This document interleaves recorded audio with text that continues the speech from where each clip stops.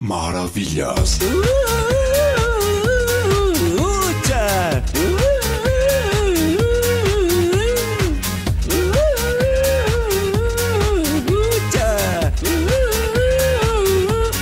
Maravillas. Eso, vamos. Ese con cara de dengue. Qué bonito bailamos. Hoy presentamos la Feria del Acuyico. ¿Cómo les va, queridos televidentes? Hoy hablaremos de la coca y la propuesta de realizar un día de pijcheo el 12 de marzo para lograr despenalizar la práctica del acuyico.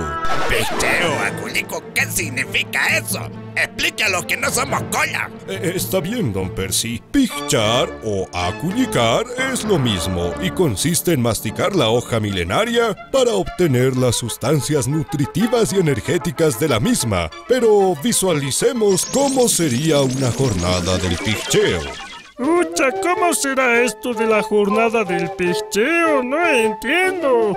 Así, facilito. Solo agasas la hoja sagrada Ya. Y la metes en tu boca.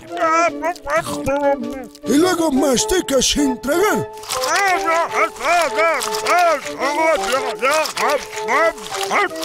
Yo ni idea. ¿Cómo será eso del aculico? Mejor tomo un mate de coca. A ver qué se siente. Uy, Me siento diferente. Estoy alerta y fuerte. Puedo volar.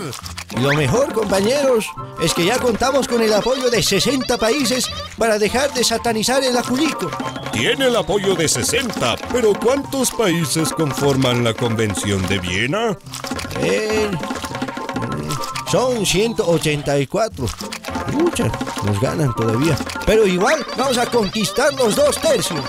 La jornada del acuyico, otra expresión de soberanía. Permiso. Maravillas. Eso, vamos. Ese con cara de dengue. Qué bonito bailamos.